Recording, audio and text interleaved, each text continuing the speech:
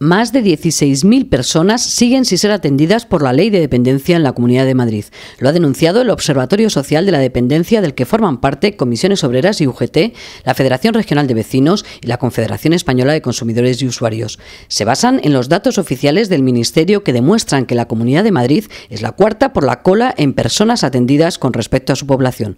Pero además se dijeron más cosas, que los datos que ofrece la Comunidad de Madrid no son transparentes ni fiables.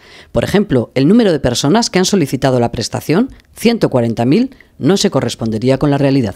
Nos consta que en torno que existen en torno a 80.000 solicitudes más que no sabemos dónde están, algunos dicen que están en cajas, en dependencias de la consejería, dicen, pero nos consta que existen en torno, estimamos que en torno a 80.000 solicitudes más que no han iniciado ni tan siquiera el procedimiento.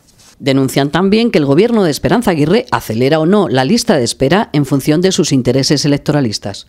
De febrero a junio de este año, la lista de espera de personas eh, pendientes de atender descendió en 14.000. Sin embargo, a partir del mes de mayo, una vez celebradas las elecciones autonómicas, esa lista de espera vuelve a subir mes tras mes hasta situarse nuevamente ahora en el mes de diciembre en 16.268 personas. ¿Y qué opina el Observatorio del dinero que el Gobierno regional asegura destinar a la dependencia? ¿Que no es creíble? Ellos dicen que en el año 2011 se gastaron 915 millones. ¿Sabéis que eso es el 72% del total del presupuesto de la consejería? Entonces, ¿qué pasa con las políticas de lucha contra la pobreza y la exclusión social, que también son competencia de la Consejería de Familia y Asuntos Sociales, con 200.000 personas desempleadas en la Comunidad de Madrid sin prestaciones? ¿O qué pasa con la atención a las familias? ¿O qué pasa con la atención y la protección a los menores, que, insisto, también es competencia de la Consejería de Familia? El observatorio acusa al gobierno regional de que con sus políticas, además de engrosar la lista de espera, conducen a que más de 3.000 personas fallezcan sin haber recibido a tiempo su prestación. El observatorio denunció además recortes en servicios y prestaciones, entre ellos la ayuda a domicilio.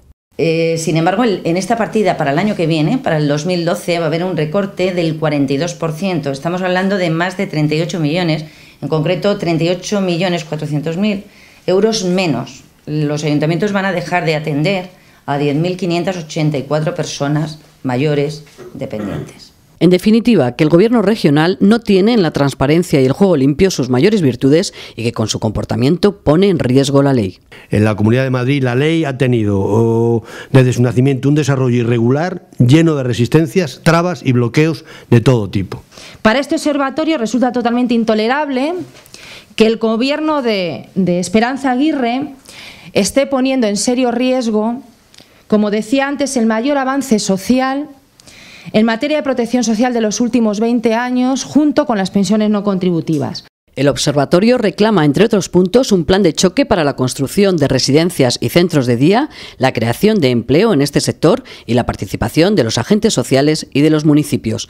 Por último, animan a aquellos ciudadanos que sean beneficiarios de la ley de dependencia y se consideren que sus derechos están siendo vulnerados a acudir a las organizaciones que forman parte de él.